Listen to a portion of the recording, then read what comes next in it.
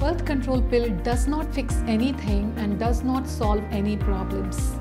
It can only mask them beautifully and sometimes it may be required. Now, it can only mask your symptoms for the time being while it does not heal anything and does not address the root cause of the problem. I want you to understand how the birth control pills work so that you can make an informed choice before going on the pill. So pill is basically a synthetic combination of estrogen and progesterone which suppresses your hormones and suppresses your ovulation. The period which you get on the pill is a fake period. What happens that when you take that pill free days that break from the pill, sugar pill you take in the birth control pills, that is the time when there is withdrawal bleeding happening, the breakthrough bleeding happening. It's not a real period.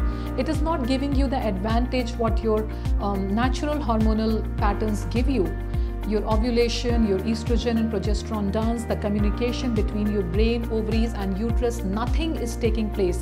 It is just masking your hormones, and then because we remove the synthetic hormone, there is a withdrawal bleeding, there is a breakthrough bleeding happening. And when you decide to get off the pill, all your symptoms can come back with a vengeance because nothing has been done to address the root cause of the problem. In fact, the pill also depletes you of vital micronutrients like vitamin B12, folate, magnesium, and vitamin C, which is required for progesterone synthesis and lot of hormonal healing in the body. I'm Dr. Disha MD. I'm on this mission to give you the right information and knowledge so that you can make better decisions and informed choices regarding your body and fertility. Thank you.